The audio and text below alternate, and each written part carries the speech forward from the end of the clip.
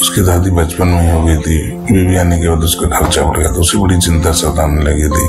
फिर गाँव में अकाल भी पड़ा, लोग कंकाल हो गए। जुलाई किया एकदम कम हो गई, उसने बाहर गाँव जाने की सोचा और वहाँ जाकर उसने छोटे मोटे काम किया और कुछ पैसे जोड़ लिए।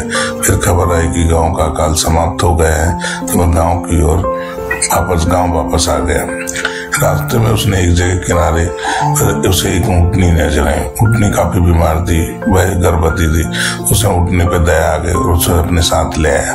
घर में ऊँटनी का ठीक चारा, घास वगैरह दिया तो वह पूरी तरह स्वस्थ हो गई और उसने एक अच्छे स्वस्थ बच्चे को जन्म दिया।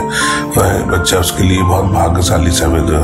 कुछ दिनों बाद ही एक कलाकार गाँव के जीवन पर चित्र बनाने उसी गाँव में आया। पेंटिंग के ब्रश बनाने के लिए जुलाई के घर आकर के बच्चे के दुम के बाल ले जाता। लगभग दो सप्ताह गाँव में रहने के बाद चित्र बनाकर कलाकार चला गया।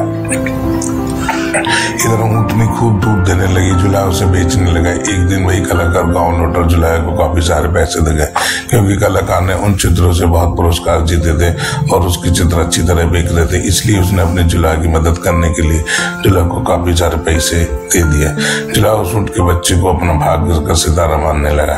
कलाकार से मिली राशि से कुछ पैसे उसने ऊँट के गले की एक सुंदर सी घंटी खरीदी और पहन दी। इस प्रकार जुलाई के दिन फिर गए। मैं अपने दुल्हन को भी एक दिन गौना करके ले आया।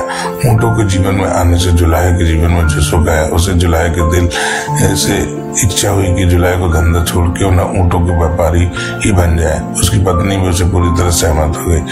अब भाई भी गर्भवती हो गई थी और अपने सुख के लिए उठने ऊँट के बच्चों की आवारी थी जुलाहा ने कुछ ऊँट खरीद लिए, उनके ऊँटों का व्यापार चलने लगा। और जुलाहा के पास ऊँटों की बड़ी टोली हर समय रहती थी, उन्हें चलने के लिए एक दिन छोड़ दिया जाता था। ऊँट का बच्चा जब जवान हो जाता उसके साथ घंटी बजाता जाता। एक दिन घंटीधारी की तरह ही एक ऊँट ने उससे कहा, भैया, तुम हमसे दूर दूर क्यों रहते हो? घंटीधारी गर्व से बोला वहाँ तुम एक साधारण ऊँटों में घंटीधारी मालिक का दुलाना हूँ।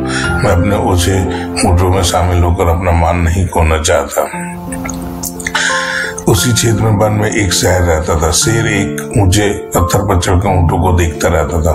उसे एक ऊँट और ऊँटों की अलग अलग रहता नज़र आया। जब शेर किसी जानवर के झुंड पर आक्रमण करता है तो किसी अलग थरक पड़े को ही चुनता है। घंटीदारी की आवाज़ के कारण वह काम भी सरल हो गया। बिना आँखों देखे वह घंटी की आवाज़ पर घात लगा सकता था। दूसरे दिन जब ऊँटों का दल चढ़ कर लौट रहा था, तब घंटीदारी बाकी ऊँटों से बीस कदम पीछे चल रहा था। शेर को घात लगाए बैठा ही था।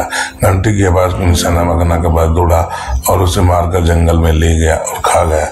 घंटाधारी इस तरह घंटेधारी का अहंकार ने उसके जीवन को समाप्त कर दिया। तो इस कहानी से हमें प्रेरणा मिलती है कि सबसे श्रेष्ठ जो स्वयं को सबसे श्रेष्ठ करता है, उसको अहंकार।